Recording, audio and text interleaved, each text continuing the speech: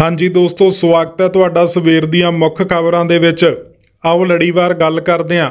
ਪੰਜਾਬ ਤੇ ਦੁਨੀਆ ਦੀਆਂ ਮੁੱਖ ਵੱਡੀਆਂ ਖਬਰਾਂ ਦੀ। ਵੀਡੀਓ ਸ਼ੁਰੂ ਕਰਨ ਤੋਂ ਪਹਿਲਾਂ ਲਾਈਕ ਤੇ ਸ਼ੇਅਰ ਜ਼ਰੂਰ ਕਰ ਦਿਓ ਤੇ ਸਾਡੇ ਨਾਲ ਜੁੜੇ ਰਹਿਣ ਲਈ ਤੁਸੀਂ ਚੈਨਲ ਨੂੰ ਸਬਸਕ੍ਰਾਈਬ ਕਰ ਲਓ। ਤੇ ਅੱਜ ਦੀ ਪਹਿਲੀ ਵੱਡੀ ਖਬਰ ਹੈ, ਬਿਜਲੀ ਸੰਕਟ। ਪੰਜਾਬ 'ਚ 13 ਅਕਤੂਬਰ ਤੱਕ ਰੋਜ਼ਾਨਾ 3 ਘੰਟੇ ਰਹੇਗੀ ਬੱਤੀ ਗੁੱਲ।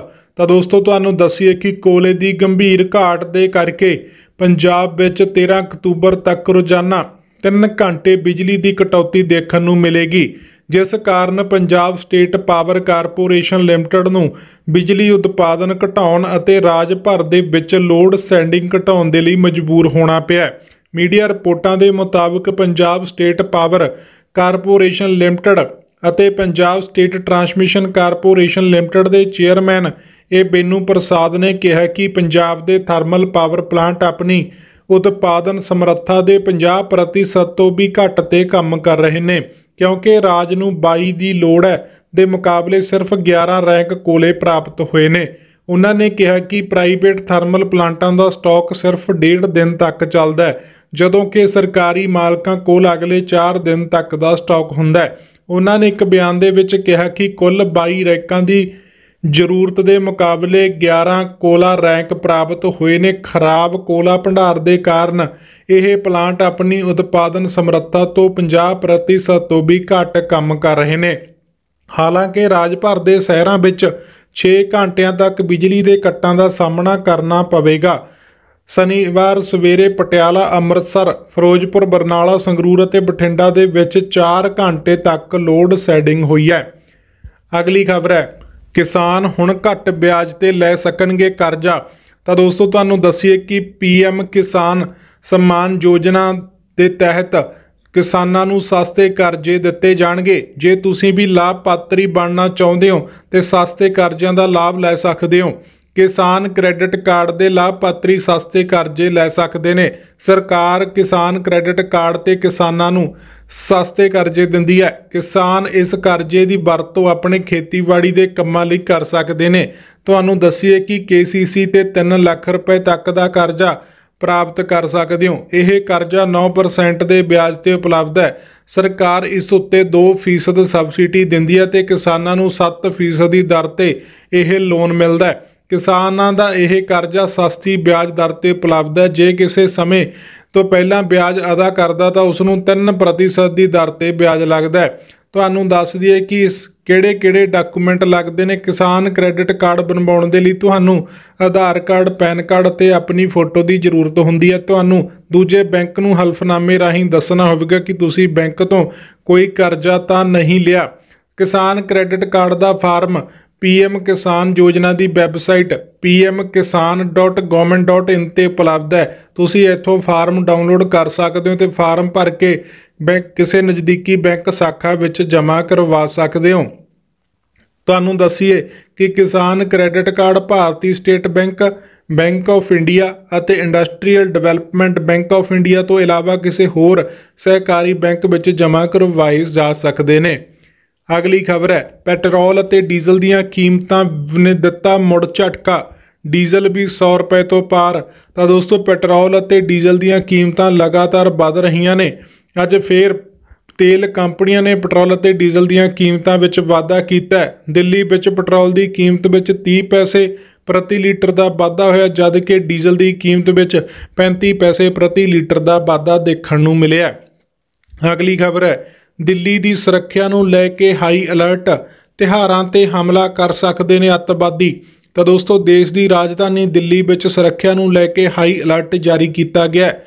ਤਿਉਹਾਰਾਂ ਦੇ ਮੱਦੇਨਜ਼ਰ ਦਿੱਲੀ ਵਿੱਚ ਅੱਤਵਾਦੀ ਹਮਲੇ ਦਾ ਅਲਰਟ ਹੈ। ਖੂਫੀਆ ਏਜੰਸੀਆਂ ਤੋਂ ਮਿਲੀ ਜਾਣਕਾਰੀ ਤੋਂ ਬਾਅਦ ਦਿੱਲੀ ਦੀ ਸੁਰੱਖਿਆ ਵਧਾ ਦਿੱਤੀ ਗਈ ਹੈ। ਦਿੱਲੀ ਪੁਲਿਸ ਨੇ ਬਾਜ਼ਾਰਾਂ ਵਿੱਚ ਵੀ ਸੁਰੱਖਿਆ ਵਧਾ ਦਿੱਤੀ ਗਈ ਹੈ। ਹੋਟਲਾਂ ਅਤੇ ਗੈਸਟ ਹਾਊਸਾਂ ਦੀ ਨਿਗਰਾਨੀ ਵੀ ਕੀਤੀ ਜਾ ਰਹੀ ਹੈ। ਅਗਲੀ ਖਬਰ ਹੈ ਗਿੱਦੜਬਾਹਾ ਦੇ ਵਿੱਚ ਬਣੇਗਾ ਪੀਆਰਟੀਸੀ ਦਾ ਸਬ ਡਿਪੂ। ਬਾਦਲ ਪਰਿਵਾਰਾਂ ਦੇ ਰਿਸ਼ਤੇਦਾਰਾਂ ਦੀਆਂ ਬੱਸਾਂ ਤੇ ਸਕੰਜੇ ਦੀ ਤਿਆਰੀ। ਤਾਂ ਦੋਸਤੋ, ਗਿੱਦੜਬਾਹਾ ਤੋਂ ਵਿਧਾਇਕ ਅਤੇ ਨਵੇਂ ਟਰਾਂਸਪੋਰਟ ਮੰਤਰੀ ਅਮਰਿੰਦਰ ਸਿੰਘ ਰਾਜਾ ਬੜਿੰਕ ਨੇ ਆਪਣੇ ਹਲਕੇ ਗਿੱਦੜਵਾਹਾ ਦੇ ਵਿੱਚ ਪੀਆਰਟੀਸੀ ਦਾ ਸਬ ਡੀਪੂ ਖੋਲ ਕੇ ਖੋਲਣ ਦੇ ਆਦੇਸ਼ ਜਾਰੀ ਕਰ ਦਿੱਤੇ ਨੇ। ਰਾਜ ਭਰ ਗਿੱਦੜਬਾਹਾ ਇੱਕੋ ਇੱਕ ਅਜਿਹਾ ਹਲਕਾ ਹੋਵੇਗਾ, ਜਿੱਥੇ ਪੀਆਰਟੀਸੀ ਦਾ ਸਬ ਡੀਪੂ ਹੋਵੇਗਾ।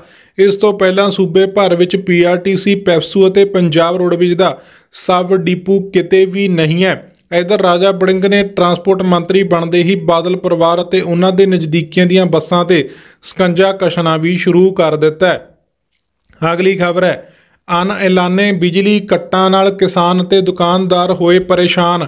ਤਾਂ ਦੋਸਤੋ, ਤੁਹਾਨੂੰ ਦੱਸ ਦਈਏ ਕਿ ਫੀਡਰਾਂ ਤੋਂ ਲੰਮੇ-ਲੰਮੇ ਅਣਐਲਾਨੇ ਬਿਨ ਦੱਸੇ ਕੱਟ ਲਗਾਏ ਜਾ ਰਹੇ ਨੇ। ਜਿਸ ਕਰਕੇ ਦੁਕਾਨਦਾਰ, ਕਿਸਾਨ ਅਤੇ ਆਮ ਲੋਕ ਪਰੇਸ਼ਾਨ ਨੇ। ਕਿਸਾਨਾਂ ਨੇ ਝੋਨੇ ਨੂੰ ਆਖਰੀ ਪਾਣੀ ਲਗਾਉਣਾ ਹੈ, ਜਦਕਿ ਦੁਕਾਨਦਾਰਾਂ ਨੂੰ ਆਪਣੀ ਰੋਜੀ ਰੋਟੀ ਚਲਾਉਣ ਦੇ ਲਈ ਮੁਸ਼ਕਲਾਂ ਦਾ ਸਾਹਮਣਾ ਕਰਨਾ ਪੈ ਰਿਹਾ ਹੈ।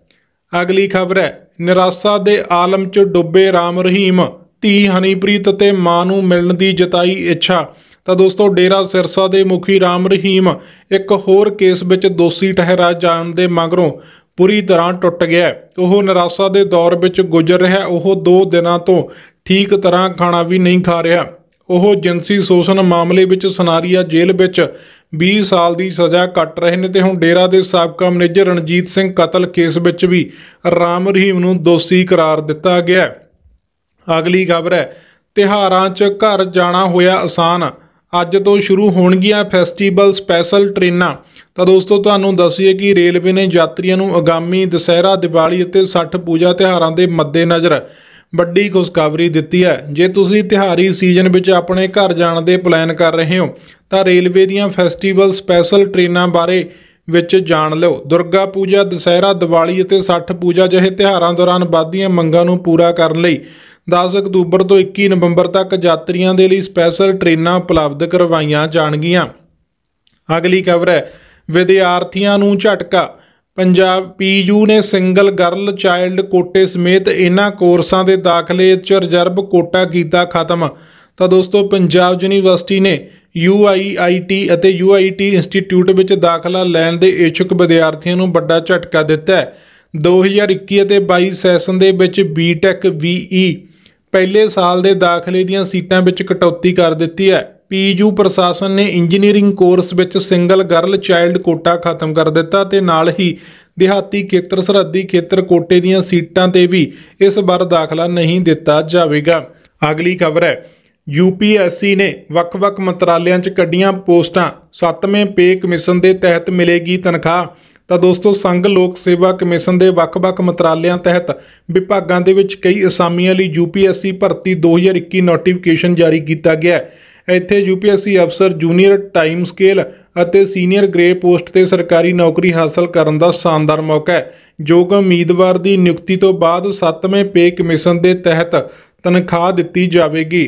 ਤੁਹਾਨੂੰ ਦੱਸੀਏ ਕਿ ਚਾਹਵਾਨ ਤੇ ਯੋਗ ਉਮੀਦਵਾਰ ਇਹਨਾਂ ਪੋਸਟਾਂ ਲਈ 28 ਅਕਤੂਬਰ 2021 ਜਾਂ ਉਸ ਤੋਂ ਪਹਿਲਾਂ ਰਾਤ 12 ਵਜੇ ਤੱਕ ਅਪਲਾਈ ਕਰ ਸਕਦੇ ਨੇ।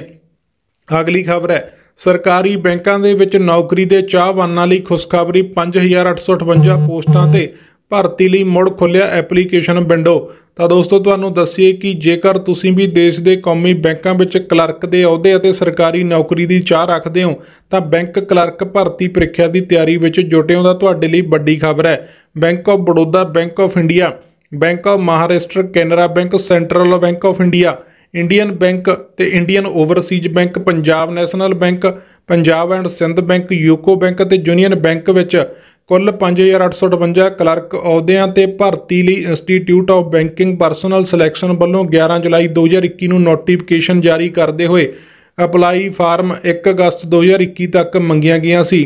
ਤੁਹਾਨੂੰ ਦੱਸ ਦਈਏ ਕਿ ਹੁਣ ਇਸ ਨੂੰ ਤੁਸੀਂ 7 ਤੋਂ ਲੈ ਕੇ 27 ਅਕਤੂਬਰ ਤੱਕ ਇਹ ਫਾਰਮ ਦੁਬਾਰਾ ਤੋਂ ਭਰ ਸਕਦੇ ਹੋ।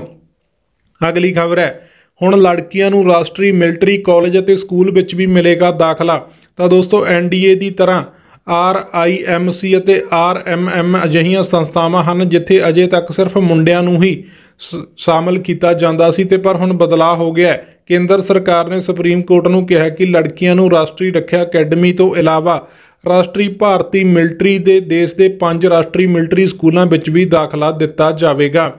ਜਾਣਕਾਰੀ ਅਨੁਸਾਰ ਕੇਂਦਰ ਸਰਕਾਰ ਨੇ ਇਸ ਮਾਮਲੇ ਵਿੱਚ ਜੁੜਿਆ ਹਲਫਨਾਮਾ ਸੁਪਰੀਮ ਕੋਰਟ ਵਿੱਚ 6 ਅਕਤੂਬਰ ਨੂੰ ਸੌਂਪਿਆ ਸੀ। ਅਗਲੀ ਖਬਰ ਹੈ SBI PNB ਸਣੇ ਇਹ ਪ੍ਰਮੁੱਖ ਬੈਂਕਾਂ ਦੇ ਰਹੀਆਂ ਨੇ ਸਸਤਾ ਐਜੂਕੇਸ਼ਨ ਲੋਨ। ਤਾਂ ਦੋਸਤੋ, ਕਈ ਵਾਰ ਸਾਨੂੰ ਪੜ੍ਹਾਈ ਦੇ ਖਰਚਿਆਂ ਲਈ ਸਿੱਖਿਆ ਲੋਨ ਦੀ ਜ਼ਰੂਰਤ ਹੁੰਦੀ ਹੈ।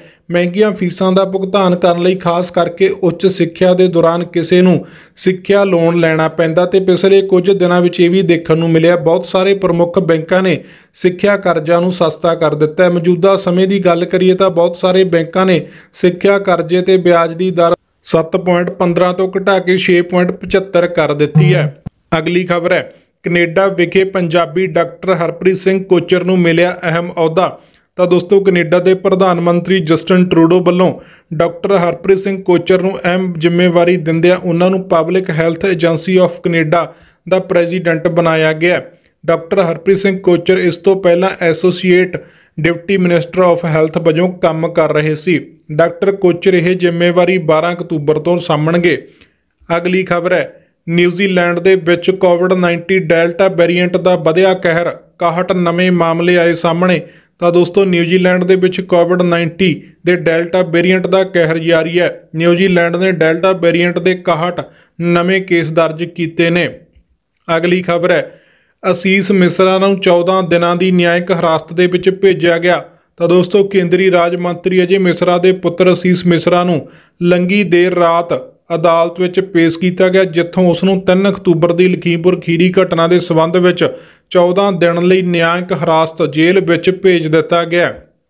ਅਗਲੀ ਖਬਰ ਹੈ, ਦੇਸ਼ ਵਿੱਚ ਕੋਲੇ ਦੀ ਕੋਈ ਘਾਟ ਨਹੀਂ ਹੈ, ਕੇਂਦਰੀ ਮੰਤਰੀ ਤਾਂ ਦੋਸਤੋ, ਨਵੀਂ ਦਿੱਲੀ, ਪੰਜਾਬ ਅਤੇ ਹੋਰ ਹਿੱਸਿਆਂ ਵਿੱਚ ਬਿਜਲੀ ਸੰਕਟ ਸ਼ੁਰੂ ਹੋ ਗਿਆ ਇਸ ਮਾਮਲੇ ਦੇ ਹੱਲ ਲਈ ਰਾਜਾਂ ਨੇ ਕੇਂਦਰ ਕੋਲ ਪਹੁੰਚ ਕੀਤੀ ਹੈ। ਇਸ ਸਬੰਧ ਵਿੱਚ ਦਿੱਲੀ ਦੇ ਬਿਜਲੀ ਵਿਭਾਗ BSES ਨੇ ਤੇ ਟਾਟਾ ਪਾਵਰ ਅਤੇ ਅਧਿਕਾਰੀਆਂ ਨੇ ਕੇਂਦਰੀ ਊਰਜਾ ਮੰਤਰੀ ਆਰ ਕੇ ਸਿੰਘ ਨਾਲ ਮੁਲਾਕਾਤ ਕੀਤੀ, ਜਿਨ੍ਹਾਂ ਨੇ ਭਰੋਸਾ ਦਿੱਤਾ ਕਿ ਦਿੱਲੀ ਵਿੱਚ ਜ਼ਰੂਰੀ ਬਿਜਲੀ ਸਪਲਾਈ ਕੀਤੀ ਜਾ ਰਹੀ ਹੈ ਤੇ ਅੱਗੇ ਤੋਂ ਵੀ ਜਾਰੀ ਰਹੇਗੀ।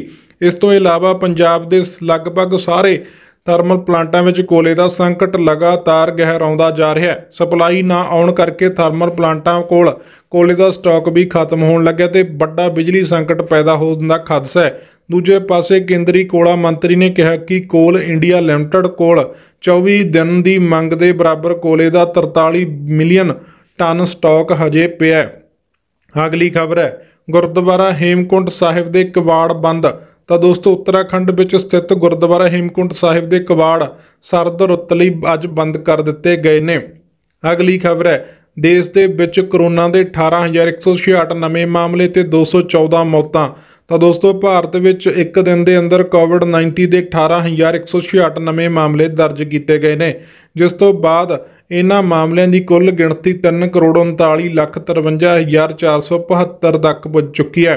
ਕੇਂਦਰੀ ਸਿਹਤ ਮੰਤਰਾਲੇ ਵੱਲੋਂ ਜਾਰੀ ਕੀਤੇ ਗਏ ਅੰਕੜਿਆਂ ਦੇ ਅਨੁਸਾਰ 214 ਹੋਰ ਮਰੀਜ਼ਾਂ ਦੀ ਇਸ ਵਾਇਰਸ ਤੋਂ ਮੌਤ ਹੋਈ ਹੈ, ਜਿਸ ਤੋਂ ਬਾਅਦ ਮਰਨ ਵਾਲਿਆਂ ਦੀ ਇਹ ਗਿਣਤੀ 450599 ਤੱਕ ਪੁੱਜ ਚੁੱਕੀ ਹੈ।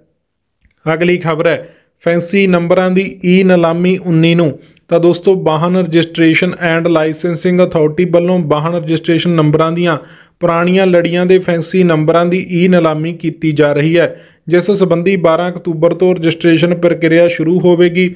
ਆਰ ਐਲ ਏ ਦੇ ਅਧਿਕਾਰੀ ਪ੍ਰਦੁਮਨ ਸਿੰਘ ਨੇ ਦੱਸਿਆ ਕਿ ਰਜਿਸਟ੍ਰੇਸ਼ਨ ਪ੍ਰਕਿਰਿਆ 18 ਅਕਤੂਬਰ ਨੂੰ ਸ਼ਾਮ 5 ਵਜੇ ਤੱਕ ਜਾਰੀ ਰਹੇਗੀ ਤੇ ਵਾਹਨ ਮਾਲਕ 19 ਅਕਤੂਬਰ ਨੂੰ ਸਵੇਰੇ 10 ਵਜੇ ਤੋਂ 21 ਅਕਤੂਬਰ ਸ਼ਾਮ 5 ਵਜੇ ਤੱਕ ਈ ਨਿਲਾਮੀ ਵਿੱਚ ਹਿੱਸਾ ਲੈ ਸਕਣਗੇ। ਨੰਬਰਾਂ ਦੀ ਸੂਚੀ ਅਤੇ ਹੋਰ ਵੇਰਵੇ ਟਰਾਂਸਪੋਰਟ ਵਿਭਾਗ ਦੀ ਵੈਬਸਾਈਟ ਤੇ ਉਪਲਬਧ ਨੇ। ਤੇ ਦੋਸਤੋ, ਇਹ ਸੀ ਅੱਜ ਸਵੇਰ ਦੀਆਂ ਤਾਜ਼ਾ ਤੇ ਮੁੱਖ ਵੱਡੀਆਂ ਖਬਰਾਂ। ਤੁਸੀਂ ਵੀਡੀਓ ਨੂੰ ਆਪਣੇ ਦੋਸਤਾਂ ਮਿੱਤਰਾਂ ਨਾਲ ਅੱਗੇ ਸ਼ੇਅਰ ਜ਼ਰੂਰ ਕਰ ਦਿਆ ਕਰੋ ਤੇ ਸਾਡੇ ਨਾਲ ਜੁੜੇ ਰਹਿਣ ਲਈ ਤੁਸੀਂ ਚੈਨਲ ਨੂੰ ਸਬਸਕ੍ਰਾਈਬ ਕਰ ਲਓ ਤੇ ਨਾਲ ਬਣੇ ਬੈਲ ਨੂੰ ਵੀ ਦਬਾ ਦਿਓ, ਜਿਸ ਨਾਲ ਤੁਹਾਨੂੰ ਇਸੇ ਤਰ੍ਹਾਂ ਦੀਆਂ ਆਉਣ ਵਾਲੀਆਂ ਨਵੀਆਂ ਤੇ ਤਾਜ਼ਾ ਖਬਰਾਂ ਦਾ ਸਭ ਤੋਂ ਪਹਿਲਾਂ ਪਤਾ ਲੱਗਦਾ ਰਹੂਗਾ। ਇਸ ਵੀਡੀਓ ਦੇ ਵਿੱਚ ਇੰਨਾ ਹੀ। ਮਿਲਦੇ ਹਾਂ ਕਿਸੇ ਨੈਕਸਟ ਵੀਡੀਓ ਦੇ ਵਿੱਚ।